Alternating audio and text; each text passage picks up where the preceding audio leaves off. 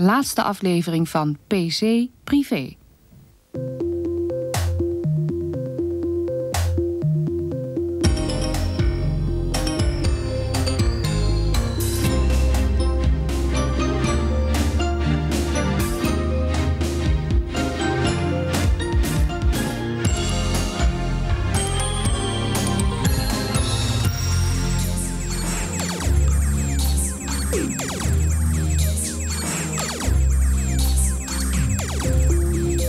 Deze laatste les van de cursus PC Privé gaan we, zoals u in de inleidende beelden heeft kunnen zien, de installatie van een modem behandelen en u een aantal vormen van datacommunicatie laten zien.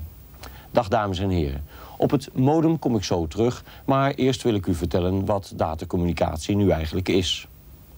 Dit begrip datacommunicatie, of zoals we het in de praktijk vaak bedoelen, het transporteren van elektrisch gecodeerde signalen, omvat een zeer uitgebreid gebied. Alle verkeer tussen het toetsenbord, de pc, de diskdrives en bijvoorbeeld het beeldscherm is een vorm van datacommunicatie. Ook het uitwisselen van floppies met bijvoorbeeld een collega zou je als een vorm van datacommunicatie kunnen zien. Toch is dat niet wat er in de regel met datacommunicatie bedoeld wordt. Bij datacommunicatie denken we vooral aan het koppelen van twee of meerdere computers, zodat ze gegevens kunnen uitwisselen en zo nodig gezamenlijk gebruik kunnen maken van randapparatuur, zoals printers, harde schijven enzovoort. Een vorm van datacommunicatie die ook voor de privégebruiker interessant is, is het elektronisch berichtenverkeer. Onder dit elektronisch berichtenverkeer verstaan we twee zaken. Allereerst vallen daar de elektronische boodschappendiensten onder het zogenaamde electronic mail. Hiermee kunt u berichten aan één of meerdere geadresseerden via de computer verzenden. Een tweede toepassing is het gebruik maken van informatiediensten of databanken. Deze databanken bevatten veelal gegevensverzamelingen op een bepaald kennisterrein. We laten u ook straks daar wat voorbeelden van zien om het allemaal wat duidelijker te maken.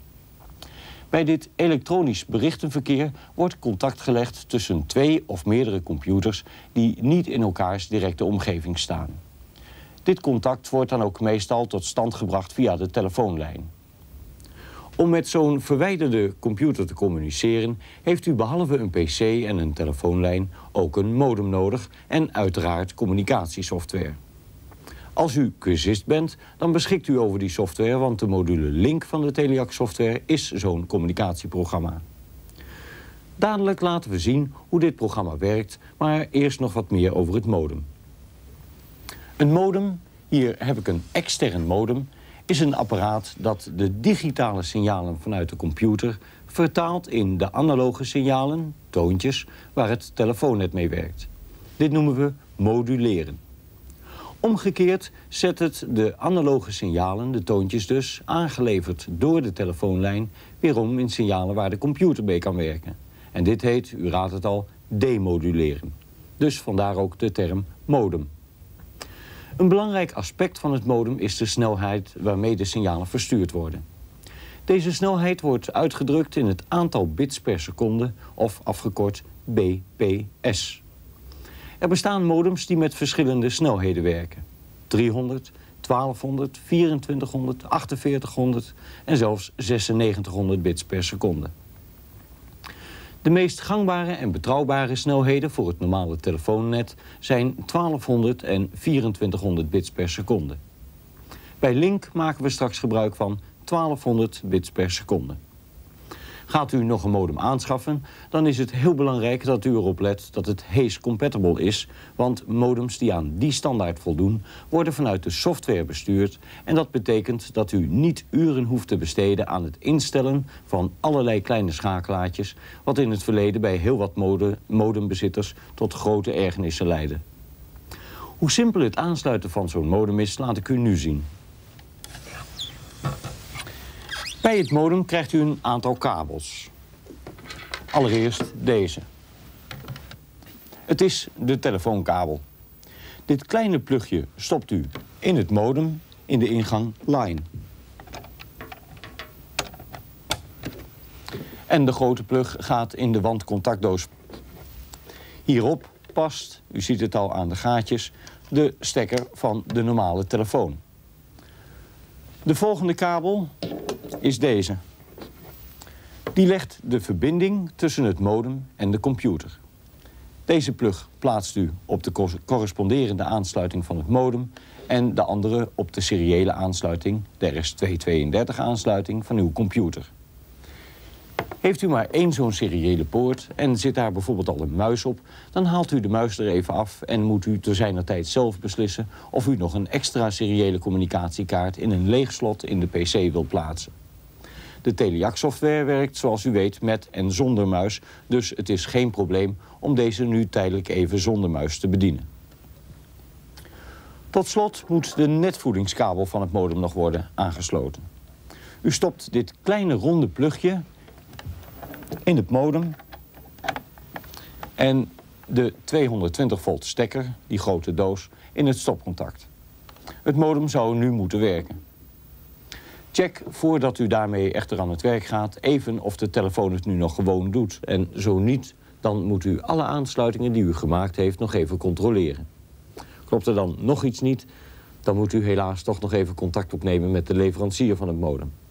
Overigens, lees voor de installatie altijd even goed de handleiding, want niet ieder modem ziet er zo uit als deze. Dit was dus iets over de installatie van een extern modem. Er zijn ook modemkaarten die in een leeg slot van de pc geplaatst moeten worden. Dat gaat op precies dezelfde wijze als de installatie van een muiskaart. En dat liet ik u in les 3 al zien. Bij deze modemkaarten is het overigens zaak om de handleiding extra goed te bestuderen... want hier moet, ondanks het feit dat ze haze-compatible kunnen zijn... meestal wel een aantal schakelaartjes, de zogenaamde dip-switches, ingesteld worden. We gaan nu bekijken hoe de linkmodule van de Teliac software werkt... en laten u daarbij zien hoe het modem getest kan worden. Deze demonstraties vinden weer plaats in de grove grafische mode en zwart-wit. En dat is, zoals u weet, voor de leesbaarheid op uw tv-scherm. We hebben de Teliac software geladen en kiezen voor hoofdstuk 8... met daarin de module link en gaan het binnen. Boven in beeld verschijnt de statusregel... die aangeeft dat we in de VTX, dat wil zeggen de videotekstmode, staan. We komen daar zo op terug. Verder staat er dat er nog 288k vrij is. Onder in beeld staan weer de bekende gegevens.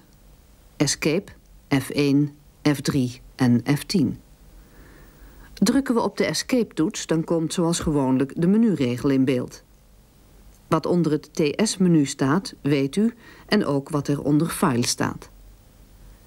Dan is er het VTX-menu. En die letters staan, zoals gezegd, voor de videotekstmode. En dat is een standaard waar heel veel databanken gebruik van maken.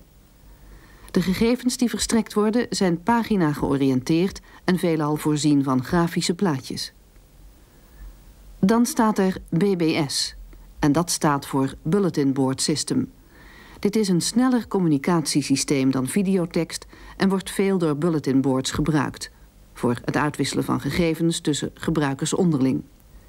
Het is niet pagina georiënteerd en lijkt door het ontbreken van grafische plaatjes meer op een toepassing als tekstverwerking. Daarnaast staat het menu Telefoon. Hiermee kun je onder andere een telefoonboek oproepen en samenstellen. En een verbinding verbreken met de keuze Ophangen. Daar weer naast staat het menu Opties. Dit is op dit moment het belangrijkst, omdat hier, voordat er verbindingen gemaakt kunnen worden, een aantal zaken ingesteld en gecontroleerd moet worden. We gaan gebruik maken van de faciliteiten van een externe computer, die volgens het VTX-systeem werkt.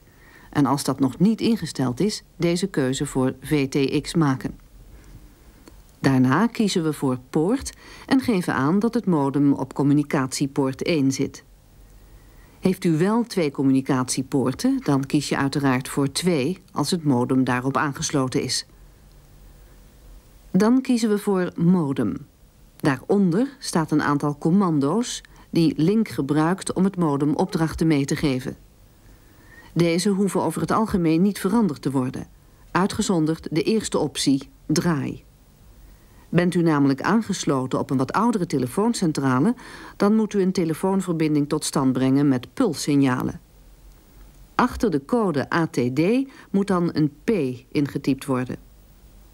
Ook Teliac is aangesloten op zo'n oudere pulscentrale, dus we laten de P staan. Bent u aangesloten op een moderne digitale centrale, dan tikt u in plaats van de P een T. De T staat voor toon. Dan gaan we naar de optie snelheid. Hierbij is 1200 bits per seconde ingesteld. En dat is een zeer betrouwbare snelheid voor de VTX-mode, dus dat houden we zo. Dan kijken we nog naar het formaat VTX. En daar staat standaard ingesteld dat de datalengte 7 bits is, dat er gebruik wordt gemaakt van één stopbit en dat de pariteit even is. Ook deze standaardinstelling is goed. Wilt u weten wat dit allemaal betekent, dan staat daarover in het cursusboek meer informatie. Het zou te veel tijd kosten dit hier uit te leggen. Dan gaan we nu deze instellingen opslaan.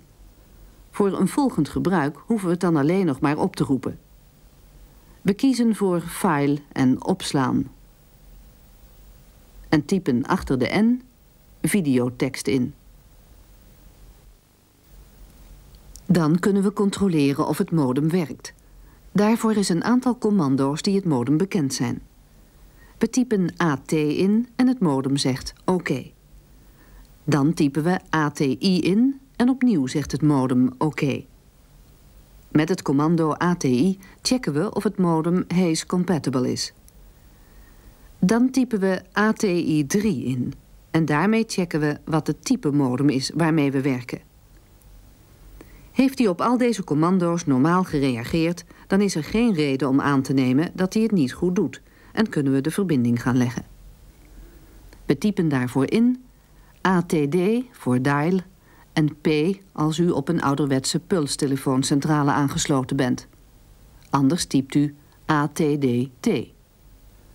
Daarachter kan het telefoonnummer komen van de computer waarmee we contact zoeken. In veel gevallen is het zo dat je abonnee moet zijn van de instelling waar je informatie van wilt hebben of zaken mee wilt doen. Maar er is meestal ook een nummer voor gasten, waarop je tegen uiteraard de eigen telefoonkosten nadere informatie kunt krijgen. Zo'n informatienummer van een bankinstelling draaien we nu. We typen een 0 in, omdat wij via de telefooncentrale van Teliac bellen en zo een buitenlijn krijgen. Belt u van thuis, dan laat u die 0 achterwege. Dan het kengetal en een spatie en dan het abonneenummer. Het modem gaat aan het werk en de bank meldt zich.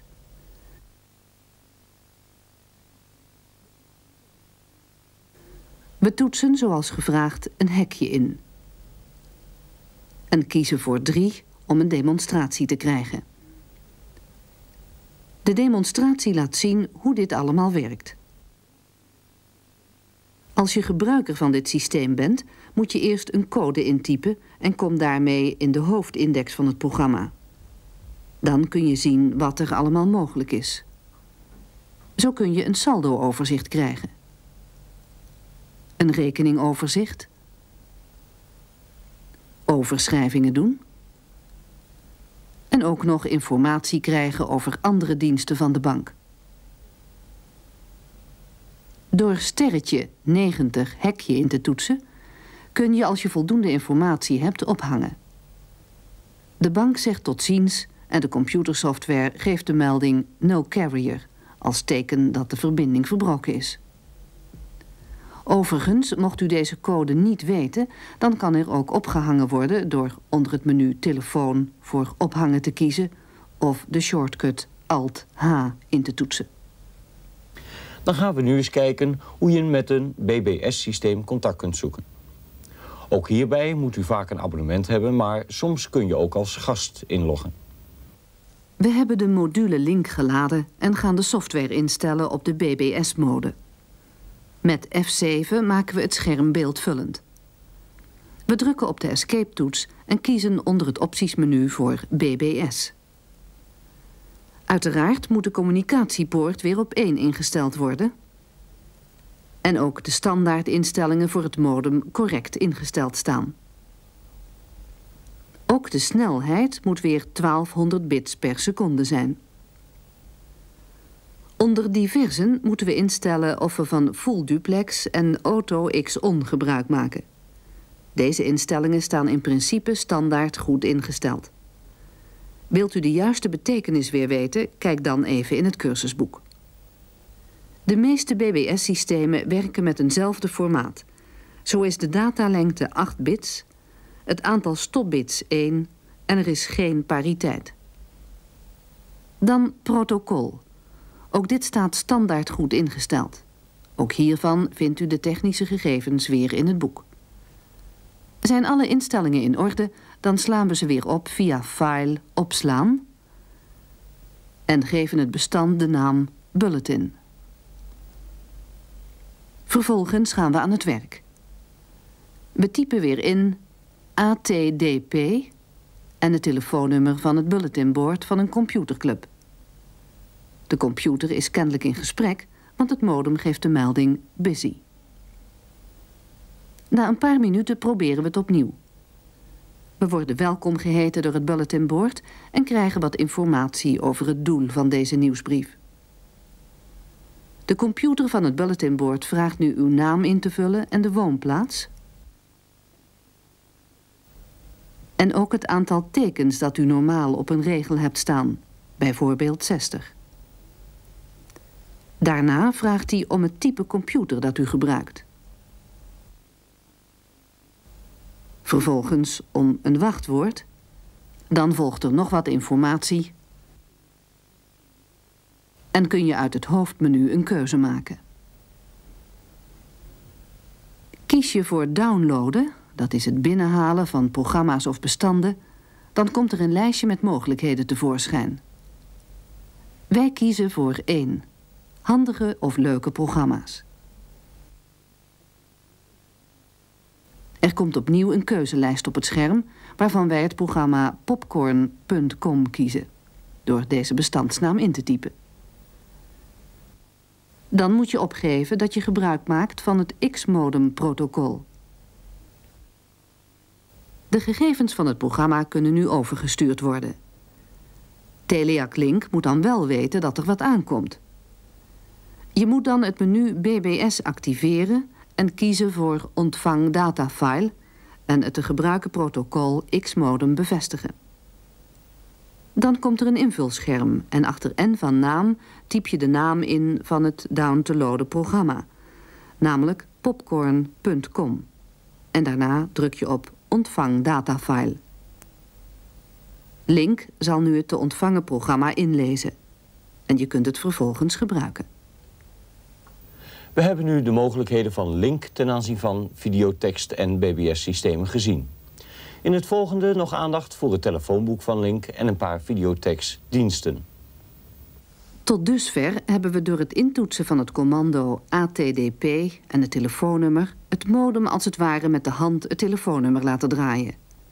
Dit kan ook automatisch als we gebruik maken van het telefoonboek dat onder het menu telefoon en gebruik te vinden is.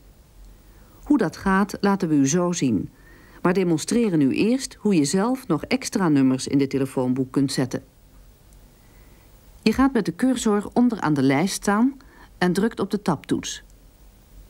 Er verschijnt op een bijna lege regel een groter dan-teken... waarachter je door op de cursortoets naar rechts te drukken... bijvoorbeeld de naam van een bulletinboard kunt intypen. Dan druk je op de entertoets en opnieuw op de cursortoets naar rechts en typt het telefoonnummer van deze computerclub in. Zoals we gezien hebben, maakt dit bulletinboard gebruik van de BBS-mode. En ook dat tikken we in.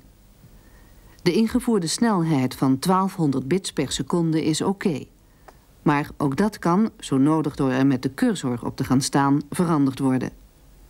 Dan is dit telefoonboek naar wens aangevuld en kan het opgeslagen worden. We kiezen daarvoor voor het telefoonmenu en de keuze opslaan en geven het bestand de naam Teleboek. Het is nu beschikbaar voor een volgend gebruik. Uit dit telefoonboek kiezen we nu voor videotext met het telefoonnummer 06 7400, gaan erop staan met de cursor en drukken op de entertoets. De computer geeft de melding dat het modem het nummer aan het draaien is. En na enige seconden hebben we contact met de videotextcomputer. Boven in beeld staat dat het tarief 37,5 cent per minuut is. Videotex kent ook andere tarieven, namelijk van 23,5 cent en 50 cent per minuut. Bij deze tarieven horen de andere videotextnummers die u net in het telefoonboekje zag staan. We kunnen de wegwijzer raadplegen door een 1 in te typen en deze keuze af te sluiten met een hekje.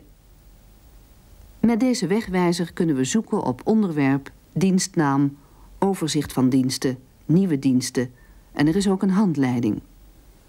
Vooral voor beginners is die laatste keuze belangrijk, want het vertelt u hoe videotekst gebruikt kan worden. Wij kiezen nu voor overzicht van diensten. Het zijn er heel wat. Door een hekje in te typen volgen er nog meer.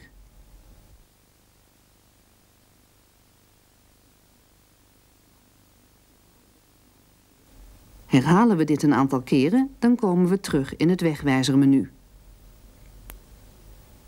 Nu kunnen we door een sterretje, de dienstnaam en een hekje in te typen een verbinding met een dienst opbouwen. We typen sterretje, ANP, hekje en er komt informatie over deze dienst tevoorschijn. Door nu een hekje in te typen wordt de verbinding met de dienst opgezet. Er verschijnt een hoofdmenu met algemeen nieuws, keuze 1, sportnieuws, keuze 2 en via de keuze 9 kunnen we het ANP verlaten. Wij kiezen voor 1 algemeen nieuws en krijgen het laatste nieuws te zien. Via de keuze 0 krijgen we het hoofdmenu weer terug en via 9 komen we terug in videotext. Nog een voorbeeld van zo'n praktische dienst die onder 06 7400 te bereiken is, is Telegids. Hiermee kunt u telefoonnummers opvragen, zoals bij 008. We kiezen voor zoeken op naam en woonplaats. Typen we in het invulscherm dat Telegids ons geeft in dat we het telefoonnummer van Telejac in Utrecht willen hebben, dan komt deze lijst met telefoon- en faxnummers van Telejac tevoorschijn. Ook Teleac zelf is in videotekst te vinden en wel onder het nummer 06 7300. Voor 06 7300 geldt een goedkoper tarief, namelijk 23,5 cent per minuut. Door de naam van Teleac in te typen verschijnt informatie over Teleac en kan verbinding gelegd worden. In het openingsscherm verschijnt wat Teleac allemaal te bieden heeft.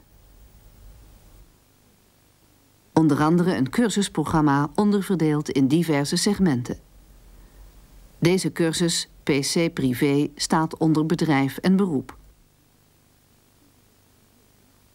Kiezen we voor 7, dan kunt u algemene informatie over dit project krijgen. Bijvoorbeeld hoe u het cursuspakket kunt bestellen en wat de inhoud van de radio- en televisielessen is. Keuze 3. Kiezen we vervolgens voor 1, de televisielessen, dan vindt u daar meer informatie over de inhoud van deze lessen PC Privé. Gaan we terug naar het hoofdmenu via de keuze sterretje 0 hekje, dan ziet u dat u bij Teleac ook een cursuskrant kunt aanvragen via de keuze 6. En tot slot, via de postbus kunt u vragen of opmerkingen doorgeven. Ja, dames en heren, tot zover de informatie over de module Link. Graag neem ik u nu mee voor een uitstapje naar mijn studeerkamer.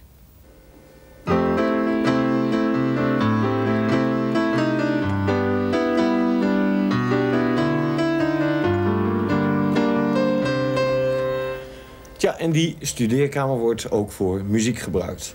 In dit korte fragmentje ga ik u laten zien wat je met een keyboard en een personal computer zoal voor leuke dingen kunt doen. Ja, dit ziet er misschien een beetje erg ingewikkeld uit, maar u kunt klein beginnen met een kleine pc en ook een klein keyboardje.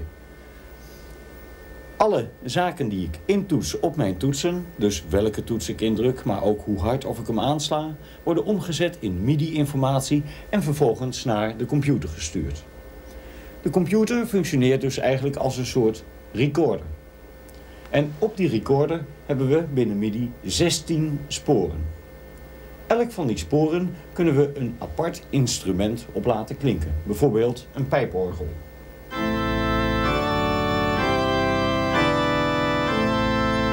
Of wat denkt u van deze Spaanse gitaar?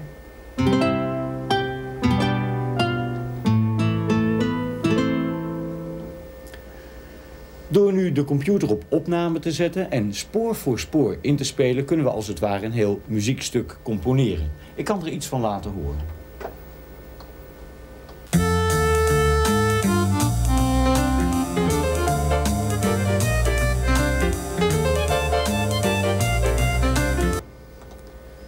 Het aardige is dat ik zelfs de muziek in beeld kan brengen. Dus de bladmuziek.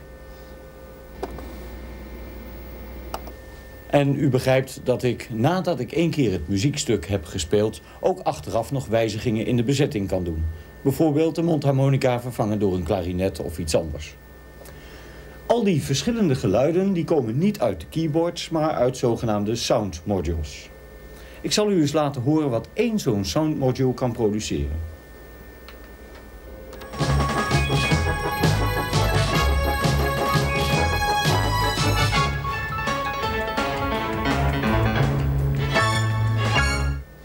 Nou, dat is toch niet gek. En als je je instrumentarium nog verder wilt uitbreiden... dan kun je natuurlijk meerdere van die sound modules toevoegen. Ook dan pas heb je eigenlijk een echt mengpaneel nodig... waarmee je al die verschillende sound modules weer met elkaar kunt gaan mixen. Maar zelfs daarvoor hebben we tegenwoordig een alternatieve oplossing op de computer. Want er zijn ook mixerprogramma's. Programma's waarbij we als het ware zo'n mixer op het beeldscherm krijgen. Natuurlijk kunnen we een dergelijke mixer niet gebruiken voor audioapparatuur, maar alleen voor MIDI-informatie. Nog een aardig weetje is dat je tegenwoordig zogenaamde databanken hebt... die je kunt raadplegen, bulletinboards... waar je muziekinstrumenten, samples en zo vandaan kunt halen via het modem. Het allerlaatste instrumentje wat ik u wil laten zien en horen... is deze intelligente arrangeur. Ik sla het beginakkoordje aan en maak zelf een intro erop en ik speel de melodie mee op mijn andere keyboard.